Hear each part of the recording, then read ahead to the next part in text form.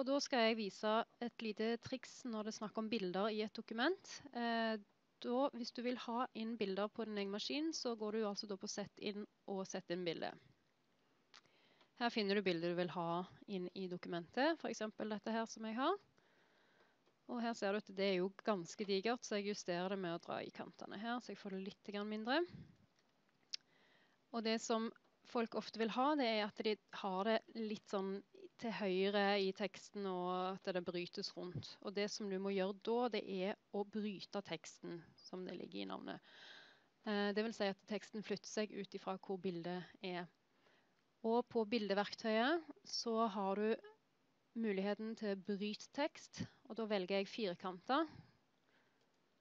Firkanter vil bare si at det, det er litt luft mellom teksten og bildet. Og da kan jeg flytte det fritt der jeg vil ha det.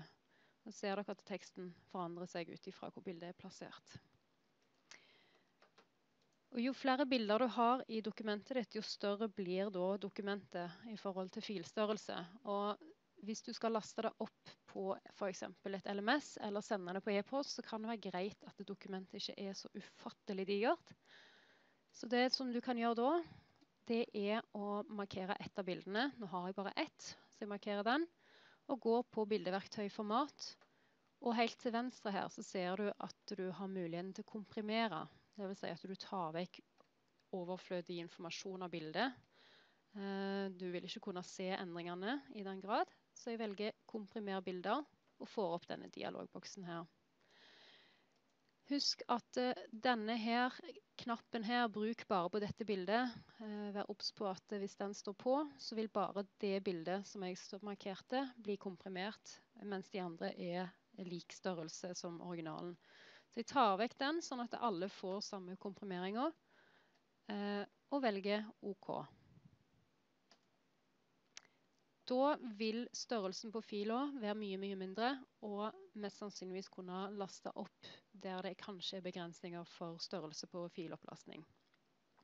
Da velger jeg fil og lagre. Eh, da kan det være lurt å ha struktur på eh, maskinen din i forhold til mapper. Eh, anbefaler at du har f.eks. laga mapper i forhold til f.eks. fag eller tema som du jobber med. Så jeg lager en mappe som heter tekstbehandling. Lager den inni der. Da vil du lettere ha kontroll på hvor filene dine ligger på, på datamaskinen. Unnskyld.